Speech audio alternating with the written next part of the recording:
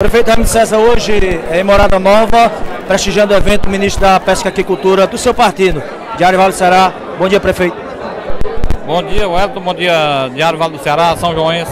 Estamos aqui prestigiando a visita do ministro da Pesca, do PSD, é, que tem feito um excelente trabalho pela pesca, pela caçanicultura, pela pesca de um modo geral para o Brasil, mas principalmente para o Ceará. Né?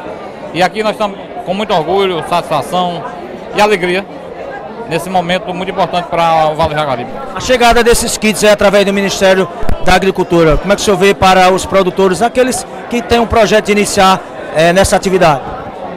Excelente, a gente sabe que a caçanicultura é uma atividade que requer um, um investimento inicial muito grande, né? principalmente para nós, né? do Nordeste, é, do, do, do, sertão cearense. Né? Então, é, isso é um incentivo, um incentivo financeiro muito grande, é de grande valia para quem está iniciando. Aliás, para todos os produtores, pequenos produtores aqui do, do, do Vale do Jaguaribe. Eu conversei com ele na chegada dele aqui em Morada Nova, é sobre a fábrica de beneficiamento. Está bem adiantado e ele confirmou que será uma realidade. Como é que o senhor vê essa resposta do ministro? Eu vejo com, com emoção, com alegria, com felicidade, Wellington, porque nossa cidade precisa, nossa cidade merece, né?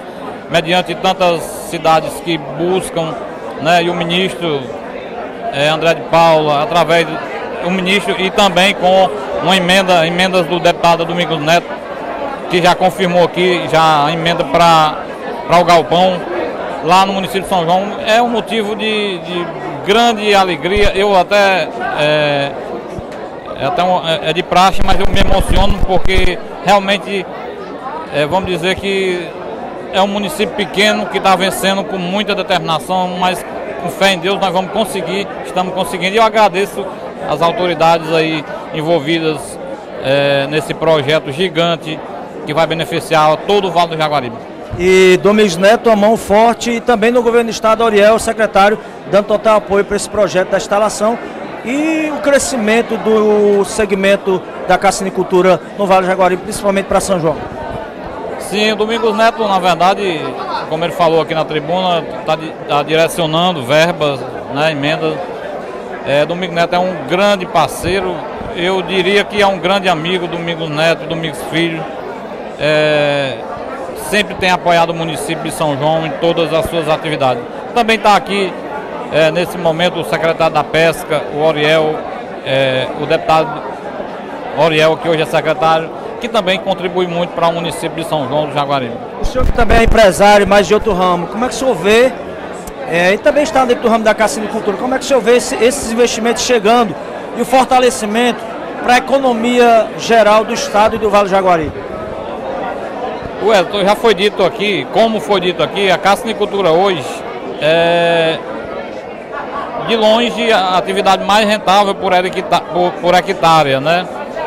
Então, o investimento na caçanicultura para nós, creio eu, que é, é, é, uma, é uma, vamos dizer assim, será um avanço que nunca visto é, no sertão do Ceará, né?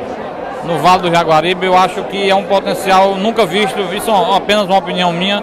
E esses investimentos, esses recursos que estão vindo, é, ajuda o, principalmente o pequeno, né, como foi falado aqui, essa questão da desburocratização dos bancos poderem nos ajudar. É, a, gente, a gente sabe que, que nós temos um potencial enorme, né? Nós temos solo, nós temos água e, enfim, esses benefícios, esses recursos vêm para beneficiar de um modo geral a, a nós produtores. E a questão da, dos, dos investimentos, das parcerias com entidades, bancos, a questão das licenças, tem avançado muito nesse sentido, não é isso, prefeito? Tem, tem. É, o, o Oriel Filho, como secretário da Pesca, contribuiu muito com isso. Né?